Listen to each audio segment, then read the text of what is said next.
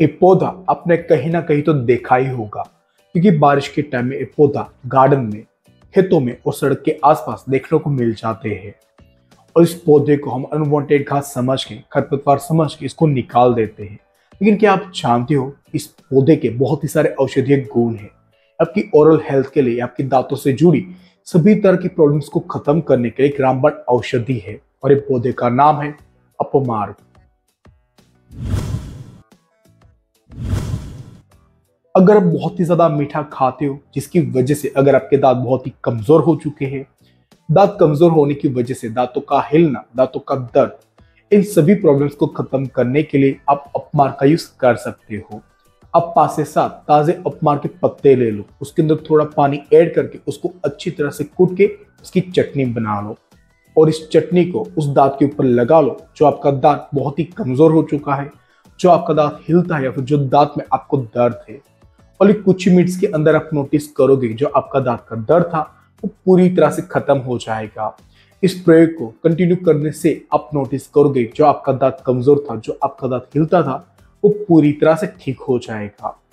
Even ज़्यादा मीठा खाने की वजह से जिनके दांत में सड़न पैदा हुई, जिनके दांत के अंदर कीड़ा पैदा हो चुके हैं उसको खत्म करने के लिए भी आप अपमार का यूज़ कर सकते हो।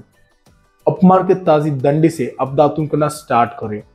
नोटिस करोगे ओनली 10 से 15 दिन के अंदर ही जो आपके दांत के अंदर कीड़ा लगा था, वो पूरी तरह से खत्म हो जाएगा। दांत के अंदर कीड़ा लगने की वजह से जो आपके दांतों में सेंसेशन होता था, वो भी पूरी तरह से खत्म हो जाएगा।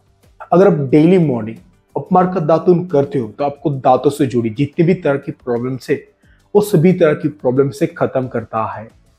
जैसे हमने आगे बात की कि जो अपमार का पौधा है, वो ओनली बारिश के टाइम ही देखने को मिलता है। तो अगर आप इसके पूरे साल लाभ उठाना चाहते हो तो जो अपमार की पंचांग है इस अपमार की जड़, उसकी टहनियाँ, उसके पत्ते, फूल और उसके बीज, इन पाँचों चीज़ों को आप छाव में सुखा के उसको इमाम दस्ते से कूट ले और उसका पाउडर बना ले। अगर आप डेली मॉर्निंग टूथपेस्ट की जगह पे अपमार के पाउडर का एज अ दंत मंजन यूज़ करते हो तो आप जब तक ज़िंदा रहोगे, तब तक आपको दांतों से जुड़ी कोई भी तरह की प्रॉब्लम नहीं होगी। अगर ये आपको मेरी वीडियो यूजफुल लगी हो तो मेरी वीडियो को लाइक करें, मेरी वीडियो को शेयर करें और मेरे चैनल को सब्सक्राइब करें।